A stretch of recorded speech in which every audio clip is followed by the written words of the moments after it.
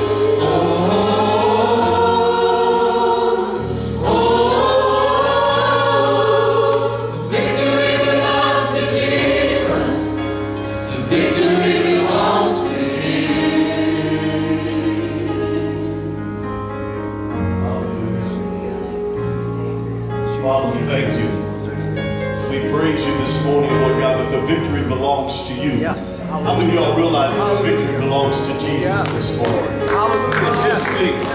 We're going to sing that just a few more times. If you really believe that the victory belongs to Him, just join us as we sing that this morning. Oh, and we're going to ask that the board members would begin to gather in the back, and we're going to get ready to, uh, to partake of the Lord's Supper. But we're going to sing that just a few more times.